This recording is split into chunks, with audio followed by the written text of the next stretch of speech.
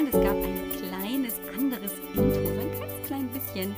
Was anderes habe ich heute eingesprochen, um dir so ein bisschen Vorfreude zu geben auf das, was heute kommt. Denn ja, heute geht es nicht um die harten Fakten, sondern um Mindset. Also deine Gedanken, das, was dich eben ausmacht. Und ganz viel mehr.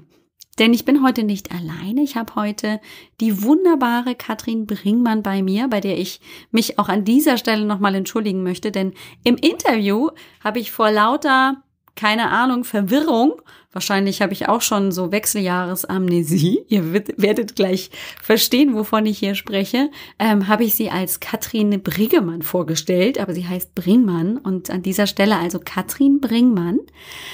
Autorin und Coach ist heute bei mir mit einem, finde ich, so wichtigen Thema. Und du wirst hören in diesem Interview, das wir miteinander geführt haben, ist es eigentlich nur wirklich ein ganz, ganz aufrichtiges, ehrliches Gespräch miteinander. Kein wirkliches Interview, auch wenn wir, wenn ich schon Fragen stelle und ähm, wir uns austauschen. Es geht um das Thema Wechseljahre. Und zwar nicht als du, die schlimme Zeit mit Krise und mit jetzt ist alles vorbei und jetzt kann ich eigentlich schon in die Kiste hüpfen, sondern mit all den Chancen, die diese Zeit mit sich bringt. Und das ist ja manchmal ein bisschen versteckt. Das wirkt manchmal nicht so, als hätte wirklich diese Phase eine Chance, als würden sich dahinter Chancen verbirgen. Aber es ist tatsächlich so. Und genau darüber hat Katrin ein Buch geschrieben und darüber reden wir. Aber nicht nur über das Buch, sondern eben auch über ihre Erfahrungen, über das, was sie da so ähm, recherchiert hat, rausbekommen hat, über auch meine Ängste ähm, und Sorgen, zwei Herzen in einer Brust, die da schlagen. Darüber werden wir reden. Und ich habe sogar ein ganz neues Wort für die Wechseljahre gefunden. Vielleicht fällt es dir auf. Wenn du magst, hör einfach rein. Viel Spaß bei diesem wunderbaren Gespräch. Bis gleich. Ja, ein wunderschönes Hallo, einen guten Morgen, Mittag, Abend, wann auch immer mhm. ähm, unsere Hörerinnen heute zu und eingeschaltet haben. Ich bin nämlich heute endlich mal wieder nicht alleine. Ich genieße es ja immer sehr, Interviews führen zu dürfen. Und heute habe ich die wunderbare Katrin Brüggemann bei mir. Hallo, liebe Katrin. Hallo, hallo Alex. Hier ist Katrin Brinkmann. Ja. Ah, ja, richtig, genau. Siehst du, ich habe mich irgendwie jetzt im Nachnamen vertan. Entschuldige bitte. Katrin Problem. Brinkmann ist da. Hallo. Hallo. Herzlich willkommen. Es ist so schön. Ähm, Katrin ist hier in meinem Podcast aus einem ganz besonderen Grund. Denn heute geht es nicht mal nur um die harten, kalten Fakten und Zahlen rund um Hormone, sondern heute geht es um sehr viel mehr. Es geht nämlich darum, dass diese Zeit häufig des Hormonwechsels, der ja bei Frauen in den Wechseljahren stattfindet und für ordentlich Trubel sorgen kann, natürlich niemals nur das Einzige ist, was da ins Wanken gerät. Und ähm, ja, die liebe Katrin hat ein Buch geschrieben, das ich so schön finde vom Titel alleine schon. Das heißt nämlich Midlife Chance. Mhm. Wir wissen ja, Männer gehen in die Midlife-Krise. Sollen sie ruhig. ähm, wenn wir Frauen mit der Zeit, die jetzt dann gegebenenfalls auch äh, bei den ein, bei der ein oder anderen Hörerin ähm, ansteht, nämlich die Zeit des Wechsels, wenn das nicht die Zeit der Krise ist, des Trubels, das ist es alles ganz schrecklich und äh, hört auch nie wieder auf und das Ende überhaupt. Wenn das die Zeit der Chancen ist, dann finde ich, haben wir ganz viel gewonnen und dann bekommt diese Phase in meiner Meinung nach ähm, auch wieder mehr positiven Schwung dann ist es eben nicht, oh, jetzt bin ich da drin gefangen und mhm. ähm, es ist alles für immer und ewig schlimm, sondern dann habe ich da auch Möglichkeiten, mich weiter zu verändern. Und ich habe ein bisschen vorne weggenommen, ähm, dass wir heute über dieses Buch und über den Inhalt sprechen. Aber liebe Katrin, jetzt geht es natürlich erstmal darum, und das kannst du natürlich am besten, wir wollen natürlich gerne wissen, wen wir heute im Gespräch haben, wem wir zuhören dürfen, wer dieses tolle Buch geschrieben hat, was du so machst und was dich überhaupt vielleicht dazu bewogen hat, das Buch zu schreiben. Magst du uns das erzählen? Na klar, sehr gern, Alex. Ja, meinen Namen habt ihr ja schon gehört, Katrin Bringmann. Ähm, ich bin selbstständig in der Personalentwicklung tätig und äh, habe mich da auf verschiedene Themen fokussiert. Zum einen das Thema ähm, Produktivität. Dazu gehört so etwas wie ähm, Speed Reading und Mind Mapping und auch Gedächtnistechniken, Zeit- und Selbstmanagement. Also alles, was sozusagen den Mitarbeiter, die Mitarbeiterin äh, so ein bisschen fokussierter ähm, arbeiten lässt oder auch leben lässt. Das ist das eine Thema und ähm, ein anderes Thema, mit dem ich viel auch unterwegs bin, gerade in größeren Unternehmen, ähm, ist das Thema Kommunikation. Also äh, wie kann ich beispielsweise konstruktiv Gespräche führen, wie kann ich Konflikte lösen besser, Teambuilding, also solche Themen gehören dazu. Mhm. Und das dritte Thema, und daraus ist eben auch dieses Buch entstanden, beziehungsweise ich habe noch ein anderes Buch geschrieben, das richtet sich eher an die jungen Mütter, Working Mom heißt das. Mhm. Aber das andere Thema ist Karrierecoaching für Frauen. Und da habe ich mich mhm. darauf konzentriert, ähm, ja, diese Klientel, die Zielgruppe Frauen, die ja immer wieder, wir stecken ja immer wieder in Veränderungen und haben auch mhm. mit Veränderungen immer viel, viel mehr zu tun, glaube ich. Zumindest habe ich das auch so ähm, recherchiert, als Männer dies tun oder zumindest mhm äh, ne, größere, umwälzendere Veränderungen. Das fängt an mit, mit äh, gut, Pubertät haben beide, aber dann das äh, Schwanger, die Schwangerschaft allein schon, das Kinderkriegen, die Hormonumstellung nach Kinderkriegen, ähm, wie gehe ich weiter damit um und dann eben dieses wahnsinnig geile Thema Wechseljahre. Mhm. und weil ich mich selber jetzt äh, in dieser Zeit befinde, habe ich gedacht, hey, da schreibe ich jetzt mal ein Buch drüber. Hm, spannend. Ja. Und das ist so wichtig. Also wir haben ja auch ein Vorgespräch geführt und darüber schon ein bisschen philosophiert, dass auch gerade das Thema Wechseljahre, das hat ja auch echt so einen negativen Touch, ne? Also da wird nicht drüber gesprochen, es gibt kaum Informationen. Und mhm. wenn du mehr darüber wissen willst, dann gibt's nur die Horrorgeschichten. Ah, bei mir hat das so und so lange gedauert und ich hatte ja. äh, alle Stunde fünfmal so und so viele Hitzewallungen und musste das T-Shirt wechseln. Und, genau. Und, ähm, dass es aber auch eine Zeit der Chancen ist. Also, dass ich einfach diesen Veränderungsprozess ja genauso wie bei der Pubertät eben durchlebe, egal ob ich mich dagegen sträube oder nicht, ähm, ist ja tatsächlich einfach gegeben. Also mhm. ich habe keine als Frau keine andere Chance.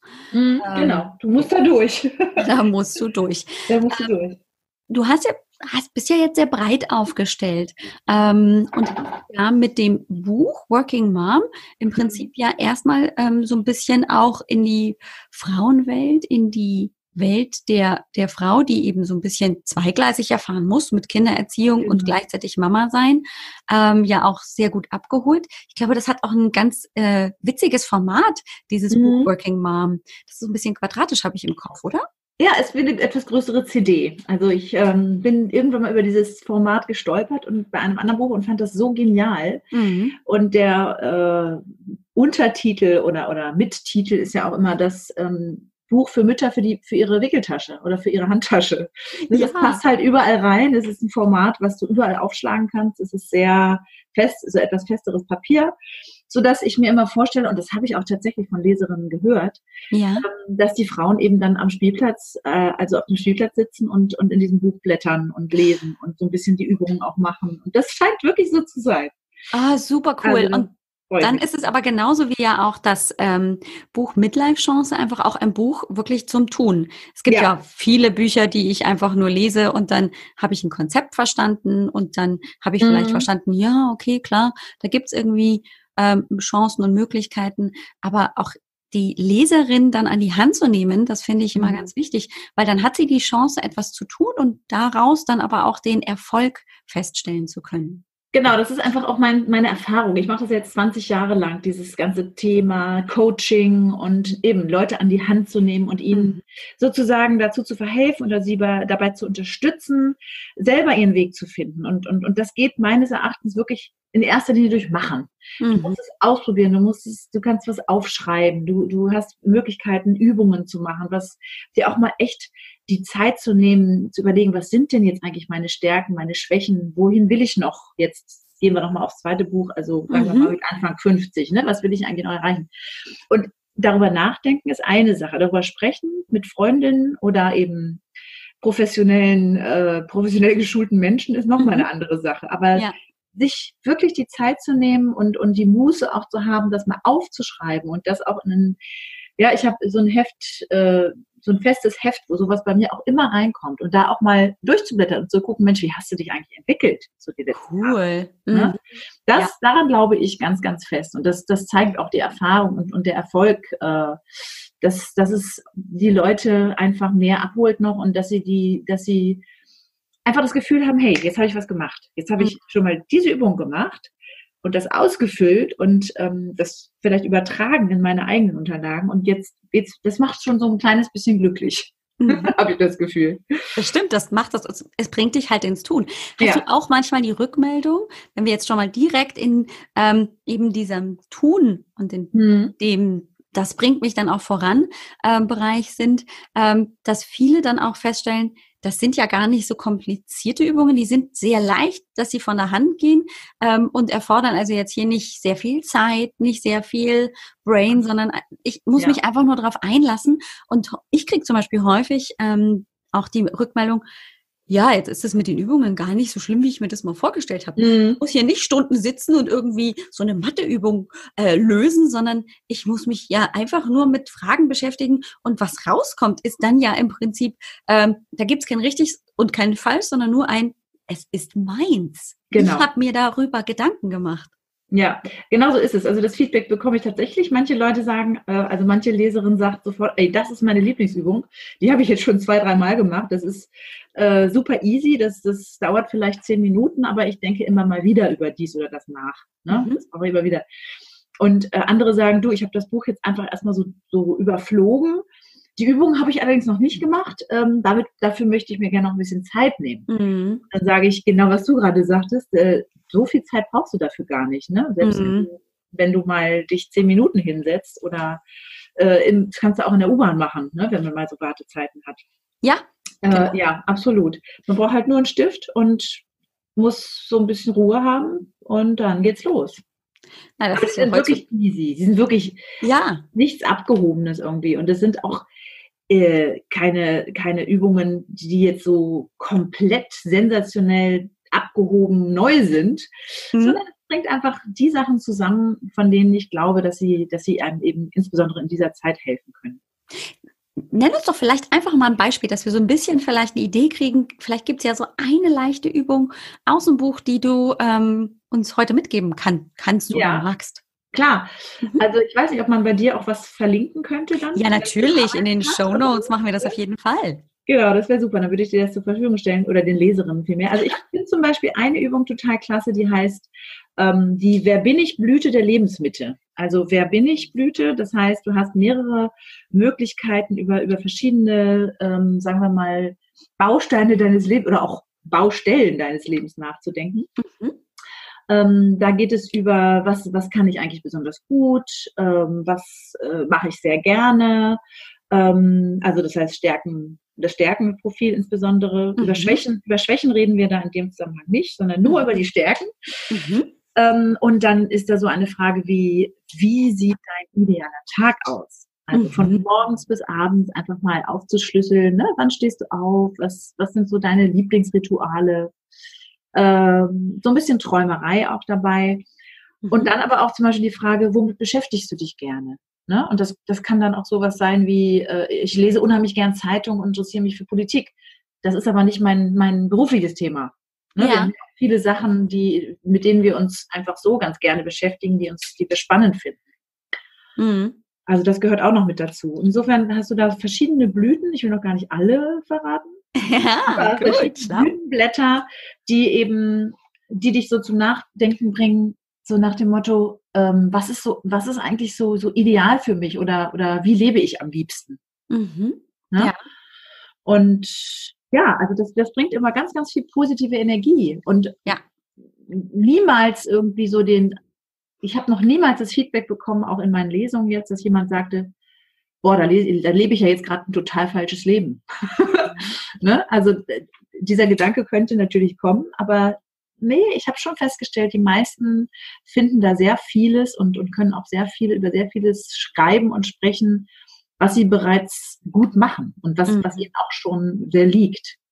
Ja, dann äh, all das, was du bisher getan hast, hat dich ja dahin gebracht, wo du jetzt bist. Ja, das genau. heißt, das ist ja genau so richtig gewesen. Sonst wärst du ja, das klingt immer ein bisschen abgedroschen, nicht da, wo du jetzt wärst. Oder Ganz genau. Ja. ja. Und das ist dann wieder so eine Beruhigung. Ne? Also viele ja. Sind auch so, so, ach, eigentlich doch alles ganz schön. Ne? So genau, ja. Läuft.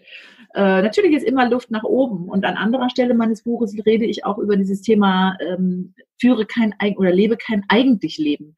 Mhm. Weißt du, so, äh, eigentlich wollte ich ja immer und eigentlich mhm. möchte ich noch. Und ach, eigentlich war ja Spanisch auch immer so auf meiner Bucketlist. Mhm. Das ist mhm. natürlich dann auch schade. Also das ist dann eben eine andere Übung, dass man seine eigene Bucketlist mal, also Ne, diese, diese Liste, was will ich eigentlich ja. noch so erledigen im mhm. Leben? Was will ich noch mal gesehen haben? Mit wem möchte ich vielleicht noch mal gesprochen haben? Was will ich erlebt haben? Welches Land will ich bereist haben? Und das ist an anderer Stelle des Buches eben dann auch wieder noch eine weitere Übung, darüber nachzudenken, um einfach auch diese Träume ähm, nicht verkümmern zu lassen, sagen wir mal. Mhm. Und so eine Bucketlist ist ja nicht, äh, ist ja nicht in Stein gemeißelt, wie man so schön sagt, die kann sich ja durchaus verändern. Aber auch das setzt wieder bei einigen Frauen totale Energie frei. Also mhm. wenn ich da mal ein Beispiel nennen darf. Eine Teilnehmerin äh, in einem meiner Workshops sagte dann, ähm, du, ich habe dein Buch gelesen und weißt du, was ich jetzt mache? Ich werde jetzt mein Haus verkaufen. Ich habe da die ganze Zeit schon drüber nachgedacht. Mhm. Ich räume jetzt dieses Riesenhaus aus. Die Kinder sind aus dem Haus. Das ist viel zu groß. Das ist irgendwo im Dorf, auf dem Dorf in der Budnik ich will jetzt endlich das in die Hand nehmen, werde mein Haus verkaufen und in die Stadt ziehen. Cool. Ist das nicht wow, geil? Wow, da was ist auch echt eine Schauerrunde. Energie da wirklich frei ja. wird, ne? Ja, du ja. dich wirklich freier auch von, von Dingen und von vielleicht, ähm, ja, gedachten Zwängen, ne, das muss ich ja. vielleicht noch erfüllen und was hat sich ja ganz viel in diesem Leben äh, dann verändert und dann mhm. ist tatsächlich oft, glaube ich, diese Entscheidung schon so unbewusst vorhanden, aber sie traut sich nicht raus, ne? So. Genau. Ja, weil ähm, wieso sollte ich und was könnte da denn dann Schlimmes passieren? Und äh, wenn dann wirklich die Energie zur Entscheidung kommt, also wenn ich so ein bisschen mhm. diese Komfortzone verlasse und das einfach tue, bah, da ist ja brutal. Also das spüre ich richtig in meinem ganzen Körper, die ja. ganze Energie, die da frei wird. Total toll. Ja, genau. Das ist, das ist wirklich ganz, ganz toll zu sehen, weil uns eben klar wird, dadurch, dass wir in der Lebensmitte sind, ähm, es ist eben also ich würde jetzt nicht sagen, äh, es ist nicht mehr so viel Zeit. Das ist, mhm. das ist auch Quatsch. Das setzt einen ja noch wahnsinnig unter Druck. Ähm, sondern zu sagen, ja, okay, ich habe jetzt das und das erreicht, das und das ist schon gelaufen, so und so viele Jahre sind jetzt vorbei und ich habe noch eine, eine, eine sehr gute Strecke vor mir, aber die jetzt auch so zu kreieren und so zu ähm, stricken, wie sie wirklich nach meinen Bedürfnissen mhm. Das, das merken viele Frauen. Denn, ne, wie wir eben im Vorgespräch auch schon gesagt haben, ähm, die, sagen wir mal, diese Riesenverantwortung für mehrere Kinder, äh, für den Haushalt, für diese ganzen Dinge. Wir machen es ja oft auch mehr als die Männer. Mhm, also, ja. So meine so. Erfahrung. Ja, meine auch. Ja, und das fällt dann eben, es ist wahrscheinlich für dich noch nicht so vorstellbar, aber das fällt dann irgendwann weg. Also die mhm. Kinder sind natürlich da, aber sie sind eben nicht mehr im Haus und sie machen mhm. ihr eigenes Ding und sie fragen auch nicht mehr so oft nach deinem Rat. Und dadurch siehst du ja, okay, jetzt bin ich mal wieder dran. Und das mhm. ist eben auch geil. Also du hast wirklich ja. äh, mit ruhigem Gewissen ähm, die Möglichkeit, hey, jetzt, jetzt beschäftige ich mich jetzt wirklich mal nur mit mir selbst. Also eine Freundin von mir ist zum Beispiel jetzt erstmal vier Wochen nach Vietnam gefahren. Und sie hat gesagt, ich ah, cool. muss einfach raus hier, ich mache das auch ja. ganz alleine. Ähm, und zack, weg ist sie. Und das, es hört, sie ist immer noch da. Ja. Es hört sich extrem spannend an. Und das hat sie sich herausgenommen, weil es eben gerade so ist, dass ihre Kinder auch aus dem Haus sind und sie gesagt hat, boah, jetzt bin ich dran. Ja, ich glaube, dieses ähm, Ich bin endlich dran, ist, mhm. ist ein, kann ein wahnsinnig großer Motivator sein. Mhm. Und ich bin aber ja gerade so in dieser Phase hinein, ohne dass ich jetzt sagen würde, boah, ich bin schon voll in den Wechseljahren, aber ich, mhm. mein Leben verändert sich dadurch, dass jetzt mein Sohn ähm, dieses Jahr sein Abitur machen wird und dann ist einfach klar, er wird irgendwas tun. Ja. Einige Optionen und das kann beinhalten, dass er dann auch ähm, hier das Nest verlässt. Und ich merke, wie mich das schon seit dem letzten Jahr, also seit Beginn eben dieses Schuljahres mit dem letzten Schuljahr beschäftigt. Oh Nicht ja. so sehr, dass ich jetzt hier ganz doll irgendwie Angst habe, dass ich habe ja noch zwei andere, die hier noch zu Hause sind. Also es ist ja mhm. nicht so, dass jetzt plötzlich alle dann weg sind. Aber ich merke schon, dass ich mir immer wieder auch die Frage stelle, wie wird denn das sein? Ähm, und ich frage mir dann, frage mich tatsächlich auch dann für die Zukunft, wie wird sich denn mein Verhältnis zu ihm verändern, wenn er dann mhm. eben möglicherweise eben ganz viel weg ist, ähm, vielleicht wirklich nur mal so alle drei, vier Monate nach Hause kommt, vielleicht auch nicht so regelmäßig ähm, sich meldet, was er ja auch nicht muss. Das erwarte ich tatsächlich gar nicht. Aber wie wird sich das alles verhindern? Das heißt, ich habe so ein bisschen, ich würde sagen, Respekt vor der Zukunft, weil jetzt finde ich es gerade total schön und mhm. ähm, bin natürlich auch irgendwie trotzdem gespannt und neugierig, weil ich schon auch so das eine Herz in der Brust hat so ein bisschen so die Mama-Sorgen hm. und das andere Herz in der Brust sagt so, boah, cool, dann muss ich mich nicht mehr um den ganzen Kram kümmern. Ja. Immer die Mama spielen und hier immer dann auch mal hier so ein bisschen sagen, was äh, vielleicht gerade ansteht oder so, sondern äh, dann mhm. geht da einfach so ein bisschen auch die Verantwortung weg und mehr Energie wird frei. Ist das auch was, was du im Buch auch so ein bisschen vielleicht, ähm, du hast ja auch ganz viele Interviews äh, ja. geführt, das habe ich irgendwie ähm, noch so aus dem Vorgespräch mitbekommen. Ist das auch etwas, bin ich damit alleine oder sind das auch andere Frauen, die, die sich diese Frage stellen? Du bist damit überhaupt nicht alleine, Alex. Das ist genau dieses, diese zwei Herzen in einer Brust. Das ist, hast du super beschrieben gerade. Das ist genau das, was ich eben auch äh, beobachtet habe und was mhm. mir Frauen erzählt haben. Aber ich merke es an mir selber extrem. Also ich habe am Anfang wahnsinnig gelitten, gar nicht ich mache mir gar nicht unbedingt Sorgen um meine Kinder. Ich, ich habe da sehr viel Vertrauen, dass sie das alles ganz gut mhm. hinkriegen können, aber die fehlen mir halt einfach. Ne? Das, ja. ist, das ist wirklich so dieses, und auch dieses Verantwortungsgefühl. Also manchmal ertappe ich mich dabei, dass ich dann zu meinem großen Sohn sage, gut, der ist jetzt 20, also so groß und auch wieder nicht. Ja. Aber dass ich dann zu ihm sage, ähm, Mensch, soll ich dir noch ein Brot schmieren? Willst du noch ein Brot mitnehmen?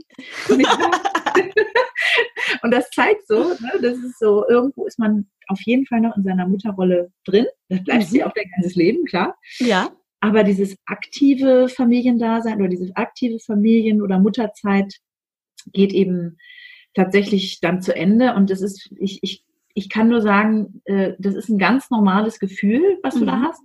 Und das wird auch noch so ein bisschen so bleiben. Mhm.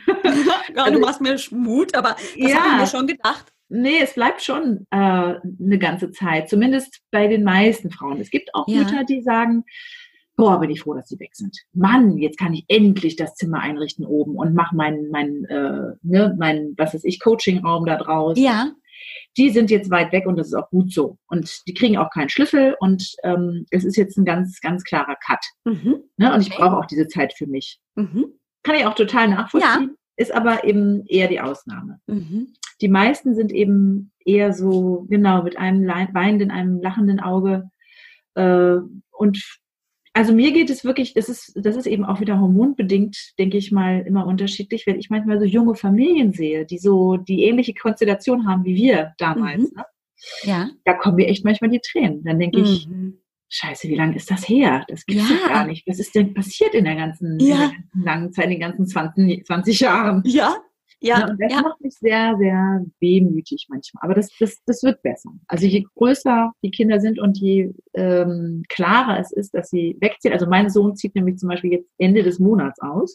Oh mein Gott, ja. ja die Tochter ist ja schon ausgezogen. Also das okay. heißt, die sind dann wirklich beide weg, in Anführungsstrichen. Mhm. Also das, äh, ja, da muss ich schon hin und wieder mal ziemlich schlucken. Für mich ist es echt hart. Das glaube ich, ja. Das, das kann ich mir ähm, tatsächlich vorstellen. Und ich habe ja dann tatsächlich immer noch zwei. Ähm, ja, mein Jüngste ist jetzt 14, das heißt, ich habe echt noch ein bisschen Karenzzeit. Ähm, und wie gesagt, das ist so echt so ein lachendes und ein weinendes Auge, zwei Herzen in einer Brust. Ähm, mhm. Das beschäftigt mich sehr und ich bin sehr froh, dass ich ähm, mich diesen Fragen ähm, auch stellen kann, dass ich mir diese Fragen stellen kann. Ja. Ähm, ich glaube nämlich, also ich weiß nicht, wie du das wahrgenommen hast, aber zum Beispiel die Generation ähm, unserer Eltern, also zum Beispiel meiner Mutter, mhm. ähm, da würde ich sagen, die sind irgendwie so reingestolpert in die Wechseljahre. Ähm, genau. Ähm, hormonell, aber genauso auch ähm, mindsetmäßig und haben sich üblicherweise diese Fragen gar nicht gestellt. Das heißt, die waren plötzlich irgendwie alleine, haben mhm. aber auch nicht irgendwie das Gefühl gehabt, okay, ich darf nicht jetzt irgendwie ähm, wirklich wichtig nehmen, meine Bedürfnisse mal wirklich angucken. Und das kann ich mir als brutalen Abfall, als hier so einmal rein mhm. ins tiefe Loch vorstellen. Mhm. Wenn ich das nicht tue, dann bin ich ja wirklich so gebeutelt, dann kann es ja tatsächlich wirklich zur massiven Krise werden, wenn sich so mein Leben massiv verändert und ich daran gar nichts mhm. Positives sehe und mich auch gar nicht damit auseinandersetze. Wie siehst du das? Absolut so. Also ich, ich kenne das auch von meiner äh, Muttergeneration, also die wahrscheinlich noch mal eine Spur älter ist. Ähm, das war ehrlich gesagt, ich habe das überhaupt nicht mitgekriegt selber als Kind ja. oder als Jugendliche, dass meine ja. äh, oder als junge Erwachsene, dass meine Mutter irgendwann in den Wechseljahren ist. Ähm, das, das war einfach kein Thema, darüber sprach man nicht. Ja, und genauso ist es, ähm, und sie haben sich, glaube ich, auch nicht unbedingt zusammenge, zusammengetan, um darüber nee. gemeinsam zu schluchzen, wüsste ich auch sagen. Das wüsste ich echt, ähm, wüsste ich wirklich nichts davon. Und aber es ist wirklich, das hast du am Anfang schon gesagt, ich, es ist immer noch ein bisschen die Tendenz. Also es ist jetzt nicht so, dass die Frauen, mit denen ich gesprochen habe, es ist auch interessant. Ich habe am Anfang meine Interviews persönlich durchgeführt, also face to mhm. face. Ja. Mit den Frauen getroffen, Ne? Und wir haben uns unterhalten darüber und ich habe Notizen gemacht, so ganz klassisch. Mhm. Und ich habe dann gemerkt, das ist mir hier alles viel zu positiv. weißt okay. du, das kann nicht sein, dass es jetzt allen so unglaublich gut geht und die gar nichts spüren angeblich oder, mhm. ne? Und dann habe ich gesagt, okay, ich mache es jetzt anders. Ich mache das jetzt anonym und schriftlich.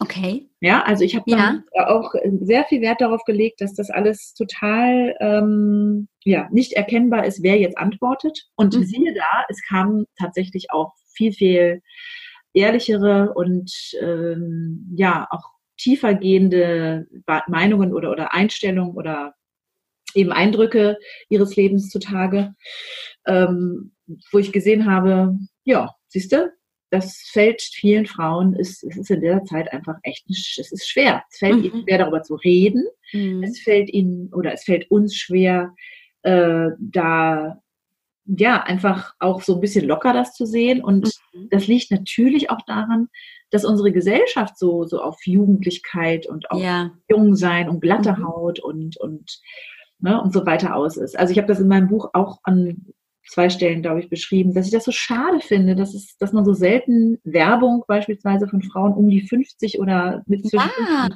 60 sieht, die ja geil aussehen können und äh, natürlich und äh, einfach eine super tolle Ausstrahlung haben. Mhm. Die siehst du aber nicht. Das stimmt. Da gebe ich dir total recht. Nicht. Ja.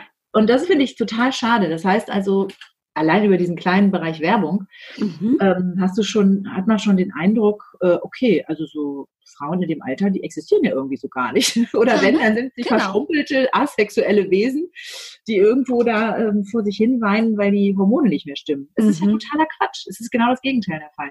Genau. Wir haben ja. eine solche Power und eine solche Kraft und ähm, aus diesem, sagen wir mal, Tief, was da hormonell natürlich entsteht, mhm ähm, kann man wieder, jeder weiß, nach einer Krise kommt wieder eine gute Zeit. Es ist immer auch eine, eine Chance, was anders und toll und, und gut zu machen. Und ich finde tatsächlich ähm, den Gedanken, oh, das ist jetzt ein Mangel. Also es wird einem ja gefühlt, mhm. ähm, gerade der Frau beim Schulmediziner, wenn er dann hier der Frauenarzt oder so ja. sagt, kommen jetzt in die Wechseljahre, es ist also ja. ein Hormonmangel. Mhm. Das wird ja das tatsächlich falsch dargestellt. Ich nenne das immer ganz gerne Regulationsschwierigkeiten, weil nichts anderes ist, ist schöner. es. Der Körper, der hat einfach ein bisschen Trouble, ähm, mhm. eben diese neuen Messwerte irgendwie immer mal richtig einzustellen, die dann halt eben für die Zeit, wenn ich nicht mehr fruchtbar bin, ähm, die dann ja. gelten.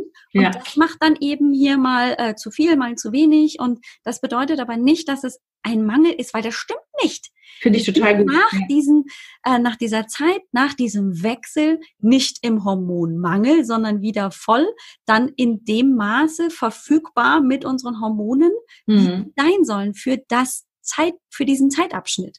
Also es ist nicht gut, ein ja. Hormonmangel. Und dann bin ich nämlich auch kein Mangelwesen. Ja, dann genau. fehlt mir möglicherweise tatsächlich die Fähigkeit, eben noch fruchtbar zu sein.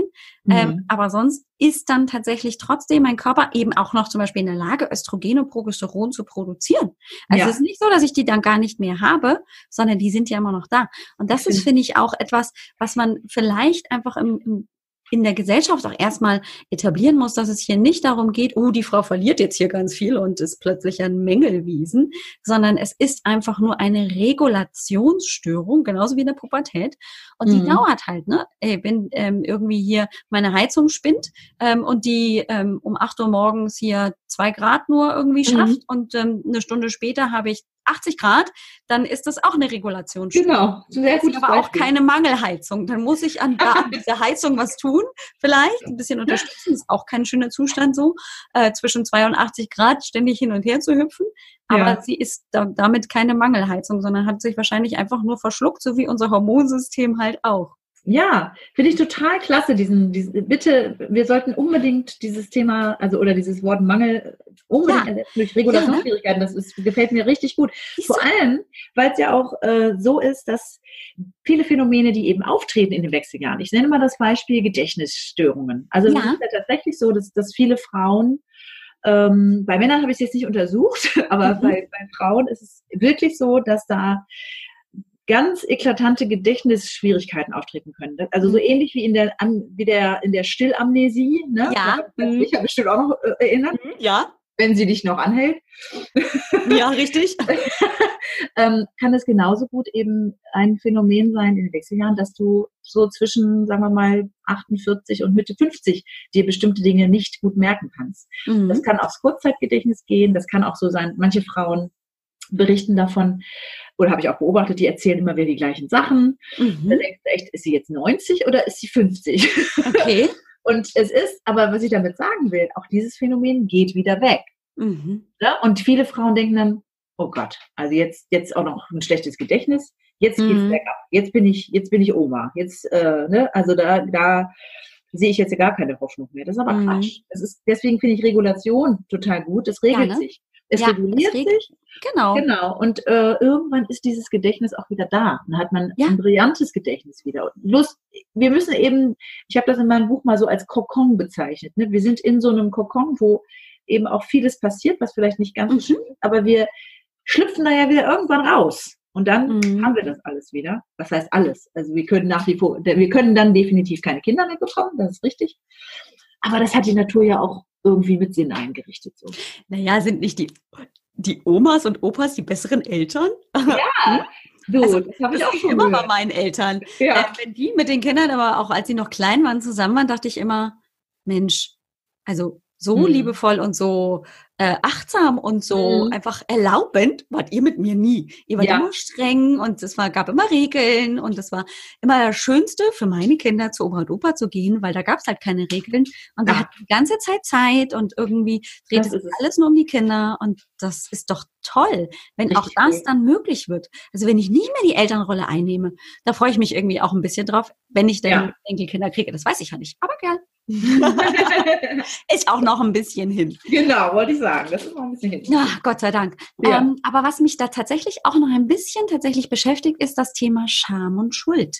Also ja. so, gerade das Thema Schamgefühl kommt da, glaube ich, auch ähm, bei vielen Frauen hoch ähm, dass die tatsächlich auch echt Sorge haben, dass die so abgewertet werden. Und das macht ja unsere Gesellschaft. Mhm. Ähm, Gerade wenn es dann um wirklich eben Einschränkungen durch die Wechseljahre ähm, geht, wie zum Beispiel die Lehrerin, die ähm, eben vor einer Klasse 14-jähriger Jungs steht und dann hat die einmal äh, in der Stunde irgendwie hier so ein Hotflash. Ja, ja, ja. Das mhm. ist natürlich ja, bei 14-jährigen Jungs ähm, nicht gerade das Ideale, aber auch bei 50-jährigen Männern kann das ja zu echt blöden Kommentaren führen. Ja. Und das, das fördert natürlich auch bei den Frauen häufig eben dieses Gefühl, oh, dann erzähle ich lieber nichts, dann äh, mache ich das lieber ganz, ganz klein, das Thema, und dann drücke ich es lieber weg, mhm. anstatt dann eben vielleicht ähm, auch einfach mal auf den Tisch zu hauen und zu sagen, ey, hier gibt's nichts zu schauen, ja? Das sind ganz normale Hormonschwankungen. Ja. Ich ja. habe sie wenigstens. Anstatt genau. Bierbauch. Ja. So. Da, da, hast du richtig, hast du total recht. Man, man sollte es oder wir sollten es äh, humor, humorvoll nehmen, daraus ja. einfach einen Witz machen, so ohne es jetzt auf die leichte Schulter zu nehmen. Aber mhm. ich denke, das ist aber gerade dieses Schweigen. Ja. Weißt du? Genau. Weil man das so wenig hört oder sieht oder ich weiß gar nicht, ich wüsste jetzt von keiner einzigen, sagen wir mal, ähm, Prominenten, die jetzt was ist, ob das jetzt eine Sängerin oder Schauspielerin oder, oder jemand aus dem Bereich ist, dass sie irgendwann mal was gesagt hätte dazu zum Thema. Nee. Weißt du, das ist halt, ja. es ist einfach totgeschwiegen. Genau. Und, und deswegen, und das, und das Wort Wechseljahre hat eben einfach auch schon diesen, diesen, ja, diesen total Negativcharakter. Mhm. Und ja. das ist, ich glaube, das ist wirklich das Problem. Es sollte viel, viel mehr darüber geredet werden. Mhm. und auch mit, natürlich mit Freundinnen, das sind ja, glaube ich, auch die einzigen, mit denen man sich darüber austauscht normalerweise, so wie ich das so mitkriege. Ja. Ne? Äh, aber ja. es ist nur, meines Erachtens, wir sollten eine richtige Kampagne fahren. Mm, Fände ich total Richtig schön. Gut, wäre Weil es einfach wirklich noch ein viel zu ähm, totgeschwiegenes Thema ja. ist. Einfach, und die Frauen auch wirklich oft sich völlig hilflos fühlen. Ja. Und dann eben tatsächlich eher in die Krisenecke rutschen als in die Chancenecke. Und ich ja. bin ein absoluter von, Verfechter von, da bietet sich natürlich gerade vielleicht ein Desaster, ein Master of Disaster in deinem Körper und in deinem Kopf, ja. Mhm. Und trotzdem bietet genau dieses Desaster dir ganz, ganz viele Möglichkeiten. Ja, genau. Ähm, und das, das muss man sehen, ne? Das ist, ja, äh, sollten, ich finde diese, diese Idee, das mal so etwas mehr publik zu machen, sehr angenehm. Ich glaube, wir sollten da nochmal drüber reden, Alex. Ja, sollten wir dringend. Wir sollten aber vor allem ähm, jede einzelne Zuhörerin hier im Podcast einfach mal einladen, ein Buch zu lesen, oder? Das Schöne ja. ist ja, dass ähm, dieses Buch nicht irgendwie 400 oder 800 Seiten hat, ähm, und ich mich echt abmühe, da hier mhm. ähm, zum Ende zu kommen, sondern das ist ja sehr schön ähm, kompakt und so gehalten, dass ich also wirklich ja relativ schnell auch durcharbeiten kann und es wieder ähm, bearbeiten kann. Also es, ich will damit sagen, es macht es mir einfach, mich mit dem Thema einfach mal ähm, sehr hingebungsvoll zu mhm. beschäftigen, mhm. immer dann zu den Momenten, wo es passt, ohne dass ich jetzt hier eben so eben stundenlange Übungen machen muss. Das gibt's ja. ja auch, ne? Ich könnte ja auch eine Coaching-Übung hier irgendwie erklären. Ja. Vier Stunden beschäftigt, das wissen wir beide als Coaches. Das ja. ist ja nicht zielführend, sondern es muss ja tatsächlich auch ähm, machbar sein für mich als Leserin so in der Do-it-yourself-Methode. Ja, das genau. Glaube ich, ein ganz, ganz großer Mehrwert, weil ähm, natürlich können wir auch ähm, jede einzelne Zuhörerin gerne coachen im Bereich ähm, vielleicht äh, Hormoncoaching oder eben hm. Live-Chancen nutzen. Aber das würde dann natürlich dazu führen, dass die Kapazitäten ähm, irgendwann voll sind und nicht jede davon profitieren kann. Deswegen finde ich ähm, Bücher so toll. Ja. Weil ich dann so unabhängig von eben mhm. vielleicht einer Person schon mal anfangen kann. Und wenn ich dann noch mehr will, kann ich mir jemanden suchen. Aber ich kann schon mal was tun. Genau, und, und das sind ja auch wirklich alle Themen, die wir jetzt gerade so ähm, gestriffen haben, gestreift haben, sorry, ähm, sind auch wirklich drin. Also es ist ja eben nicht nur das Thema Hormone und ja. Regulationsschwierigkeiten. Dieses Wort habe ich mir direkt aufgeschrieben. Ah, ja cool. Ähm, sondern es ist eben, es ist, natürlich geht es auch um das Thema Aussehen. Ne? Ich meine, wir sind ja alle komplett äh, infiziert davon. Wir ja. wollen aussehen, wir wollen fit sein, unsere Knochen sollen, ne? das soll alles, alles noch gut funktionieren mhm. und so weiter. Und deswegen gibt es tatsächlich auch bestimmte Sportübungen und es gibt auch Tipps zur Ernährung. Also so ganz praktisch, cool. mhm. wie kann ich mich mit den richtigen ähm, Stoffen, sagen wir mal, mit den richtigen Nahrungsmitteln auch tatsächlich jünger halten. Mhm. Das weiß ja jeder. Das klar, wenn du jetzt den ganzen Tag nur Fastfood isst und mhm. ähm, nicht auf deine Gesundheit achtest, dazu rauchst und dich nicht bewegst, dass du dann natürlich eine weniger hohe Lebenserwartung hast, als, als wenn du, wenn du dich gesund ernährst. Und das können bis mhm. zu 14 Jahre sein. Also wow, 14 ehrlich? Jahre, Krass. ja. Da nehme ich mir aber ganz schön viel von meiner Zukunft weg.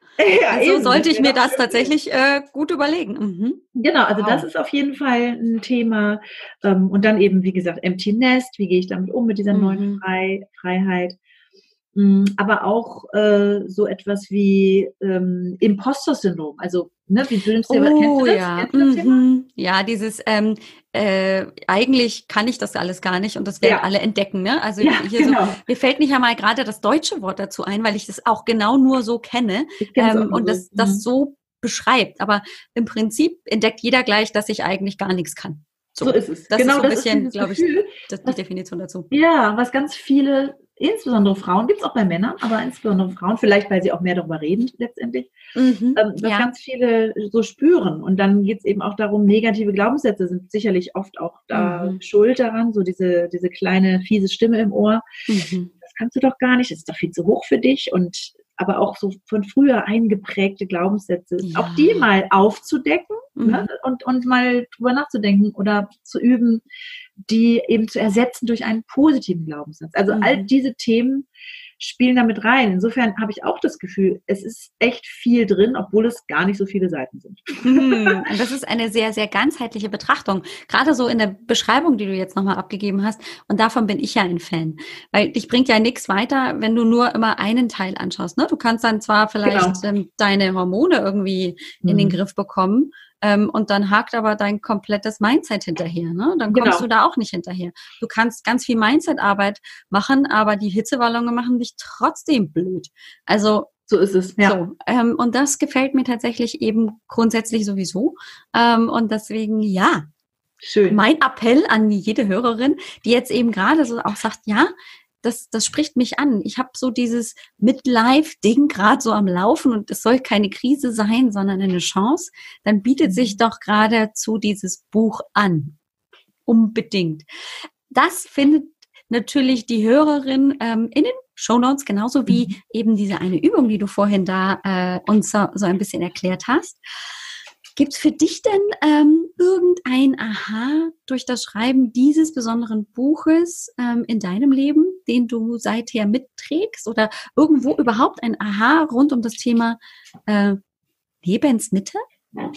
Ja, äh, viele Ahas. Also, oh mein Gott, ja, her damit. Dieses Buch hat mich ganz ehrlich wirklich viel weiter nach vorne gebracht. Dadurch, dass ich mich so intensiv damit beschäftigt habe, überhaupt mit der Phase, ja. die ich ja eben einfach, wie wie wir gerade schon gesagt haben, sehr gerne unter den Teppich gekehrt hätte. Mhm. Aber so bin ich halt nicht. Ähm, und äh, ich habe mir gedacht, hey, da, da machst du jetzt was draus, weil ich kann mir vorstellen, dass sich einige andere Frauen auch so fühlen. Ja. Hatte, ich, hatte ich das Gefühl, ich habe mich ja sehr viel auch mit anderer Literatur beschäftigt, also sehr viel recherchiert in unterschiedlichsten Bereichen. Es ging von Philosophie, über Psychologie, äh, über Ernährungswissenschaften ähm, und, und, und natürlich viel Coaching, mhm. ähm, Background. Habe ich mich mit den Dingen beschäftigt und ich habe im Nachhinein habe ich gedacht, dieses Schreiben dieses Buches hat mich so weit nach vorne katapultiert, mhm. dass ich das auch guten Gewissens sagen kann, sie als, als Chance. Mhm. Ja, also ja. sieh diese Zeit so, dass da einfach auch noch unheimlich viel Potenzial für dich selber drin ist und mach was draus. Also nicht immer dieses Aufschieben und ja, ich hätte gern, ich würde gern. Ja. Das kennen wir alle aus bestimmten Bereichen des Lebens. Mhm. Aber im Bereich Lebensträume da ist irgendwo nichts aufzuschieben. Da müssen wir dann mal ran. Und, mhm. weißt du? Und ja. das hat, also das war das eine, was mich ähm, sehr bestärkt hat und, mhm. und, sehr aufgebaut hat innerlich. Und ich habe am Ende so gedacht, ach, ist ja gar nicht so schlimm. Da steckt ja doch viel, viel, viel Potenzial drin und das werde ich jetzt auch nutzen. Also ich persönlich habe zum Beispiel auch beruflich ähm, etwas vor, mh, mm, ja, wo ich mich da vielleicht nicht unbedingt dran getraut hätte vorher. Cool, oh, ja. Glückwunsch. Oh, das ja. hört sich tatsächlich so positiv an. Und genau. davon brauchen wir so viel mehr. Davon brauchen wir wirklich einen ganz, ganz großen Chor, damit einfach diese Angst vor dieser Zeit der mhm. Lebensmittel sich viel mehr in eine Vorfreude, in eine neugierige und vielleicht auch ein bisschen aufgeregte und ja, vielleicht auch manchmal so ein bisschen ungewisse Lebensmittel, dass sich das ausbreiten darf. Absolut. Bin ich total deiner Meinung. Oh, Lass schön. es uns ausbreiten. Ja, let's do this. Oh, liebe Katrin, es hat mir so viel Spaß gemacht, mit dir zu sprechen. Und ich habe tatsächlich zwar Fragen aufgeschrieben, die wir so am Rande mitgestreift haben. Und ich mhm so erfüllt, so ähm, beseelt auch von unserem Gespräch. Und ich habe ja, glaube ich, noch ein bisschen, bis dann wirklich so ähm, dann ja. der große Wechsel kommt. Ne, mit 41 äh, denke ich trotzdem schon daran. Mhm. Ich glaube, das ist auch normal, dass dann irgendwann so diese Zeit beginnt, ähm, ja. sich damit zu beschäftigen. Und natürlich liegt es auch ein bisschen bei mir am Thema, weil mich einfach auch die Hormone interessieren. Ähm, mhm. Vielen Dank für deine Zeit. Herzlichen ein tolles Gespräch. Ich bin wirklich ganz beseelt und ich kann mir sehr, sehr gut vorstellen, dass die Hörerin, die jetzt sich einfach total angesprochen fühlt, ähm, dieses Buch unbedingt nach Hause holt. Und das gibt's ja überall, ne? Amazon, ja. Buchhandlung. Doch, ähm, gibt's überall, überall. Sehr cool. Also, wie gesagt, ja, Amazon direkt zu bestellen und an den großen Buchhandlungen. Gibt es das denn auch ähm, bei der Autorin selbst? Oder bei der Autorin selbst gibt es das auch, natürlich. Oho, dann nenne uns direkt. doch mal, wo man das bei der Autorin selbst bestellen kann. Mm, also am besten über meine E-Mail-Adresse. Aha. Ja. Okay. Nenn die Und- uns doch einfach mal und die verlinke ich auch nochmal in die Show Notes. Genau, das äh, ist Bringmann kbneustart.de, also Mhm. bringmann.kb-neustart.de. Mhm.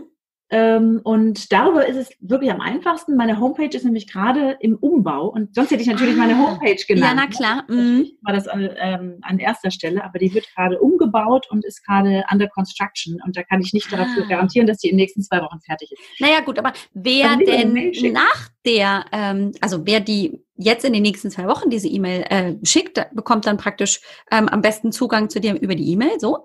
Ähm, und Genau. wer aber vielleicht den Podcast tatsächlich auch erst in ein oder zwei Monaten oder noch später hört, Mhm. der kann natürlich vielleicht auch fündig werden auf der Website, oder? Genau. Und das, Das heißt, dann hau sie her. www.neustart.de. Sehr cool. Ja. Genau, das ist meine. Natürlich gibt's das immer in den Shownotes auch. Das heißt, habe ich das jetzt alles nicht mitgeschnitten oder will einfach Copy-Paste machen, äh, dann bieten sich die Shownotes an. Die nenne ich einfach zum Ende des Podcasts. Das sind meine Hörerinnen sehr gewohnt und dann Mhm. können sie sich das auch eben zum Ende gut aufschreiben. Wunderbar. Dann möchte ich an der Stelle dir auch nochmal danken, Alex. Es war nämlich in der Tat ein wunderbares Gespräch mit dir. Danke. Super interessant, auch deine Perspektive zu hören, vor allem als Hormonspezialistin. Und vielen, vielen Dank, dass du das Interesse für die Midlife Chance hast und dass du äh, dich da so, ähm, ja, tatsächlich so dafür begeistern kannst. Vielen, vielen Ja, Dank. doch sehr. Ja, ich gebe das und ich bedanke mich sehr für dieses Kompliment und gebe das tatsächlich so zurück. Es ist ein großartiges Buch. Ich habe tatsächlich es Dankeschön. noch nicht zu Hause, aber ich weiß, was ich als nächstes tun werde. Ich werde nämlich der Autorin eine E-Mail schreiben, beziehungsweise hier an dieser Stelle sagen, liebe Katrin, ich hätte da gerne ein Buch. Kriegst du sofort, Alex. Danke. Ist schon unterwegs. Siehst du? So funktioniert es auch, aber natürlich haben meine Hörerinnen nicht den ähm, wunderbaren Vorteil, dass sie mit der Autorin selber sprechen können. Ich fühle mich sehr geehrt und nochmal herzlichen Dank wirklich für deine Zeit. Sehr Viel gerne. Erfolg ähm, und naja, da kommt doch noch ein nächstes Buch, oder? Ja, ist schon in Das Arbeit. ist- Haha, ich wusste es. Sobald das irgendwie, ähm, irgendwie Form hat, dann gib mir Bescheid, dann bist du natürlich wieder herzlichst eingeladen. Es muss Dank. vielleicht ein bisschen passen, das ist schon klar, aber ähm, ich könnte mir gut vorstellen, dass es ähm, hier im Podcast ähm, passen könnte, oder? Ich denke schon. Also, Aha. äh, Oh, das, was reden- gerade vorschwebt, könnte ich mir sehr gut vorstellen. Sehr das cool. Das heißt, wir bauen hier gerade einen Mörderspannungsbogen auf und ähm, alle freuen sich auf die nächste Folge mit dir. Super, vielen, vielen Dank. Mach's ganz gut und wundervoll, liebe Katrin, und bis ganz bald. Danke, bis bald, Alex. Tschüss. Ciao. Da sind wir wieder. Jetzt bin ich noch alleine, denn ähm, Katrin hat sich verabschiedet und ähm, ich finde es immer sehr schön, wenn ich noch meine ganz eigenen Gedanken nach diesem Gespräch, das ich mit Menschen führen darf, die Dinge zu erzählen haben, die ich einfach interviewen darf, wenn ich die mit dir noch teilen kann. Und ähm, ja, dieses Interview hat mich sehr bewegt, sehr berührt, weil ich jetzt tatsächlich einfach nur aufgrund der Beschreibung von Katrins Erfahrungen und natürlich auch den Erfahrungen, die Leserinnen schon mit dem Buch und vielleicht auch mit dieser Phase gemacht haben, dass ich mich auch ein Stück weit darauf freue, dass ich auf jeden Fall neugierig bin. Und genau darum geht es, glaube ich, mehr die Neugier auf diese Phase zu wecken und sich bewusst zu sein, hey, das ist dann nicht alles rosa und schön und Wolke 7, sondern ja, das kann natürlich echt ruckeln und schuckeln und Trubel machen. Und ja, der Körper kann verrückt spielen und der Geist mit dazu. Und dann hast du ein ordentliches Paket, aber es ist eben möglich, dass dahinter sich ganz viele neue Möglichkeiten verstecken. Dass es eben nicht das Ende vom Anfang ist. Kein Master of Disaster. Irgendwo habe ich diesen Satz vor kurzem gelesen und dachte, wow, das passt so gut. Ich glaube, es war nicht mal im Zusammenhang mit den Wechseljahren, aber viele Frauen, würde ich sagen, bezeichnen oder wäre dieser Begriff Master of Disaster ähm, für die Wechseljahre sehr passend. Es soll tatsächlich kein Master of Disaster sein, sondern ein Chancen ergreifen, sich neu erfinden und ja, sich voranstellen. Ich kann sagen, bisher ist mir das nicht so gut gelungen. Das liegt halt an meinen Kindern, an meinem eigenen Anspruch. Die Kinder kommen zuerst, dann kommt mein Mann, dann kommen die Katzen, aber da gibt's natürlich auch Unterschiede. Also manchmal könnte auch die Katze zuerst kommen und dann mein Mann. Ich geb's zu. Schatzi, ich hab dich ganz doll lieb, auch wenn die Katze manchmal vorne dabei ist. Kleiner Scherz am Rande.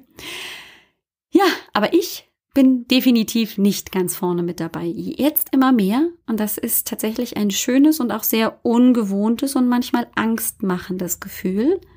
Fühlt sich nicht gut an, kenne ich nicht, macht irgendwie Grummeln im Bauch und unruhig.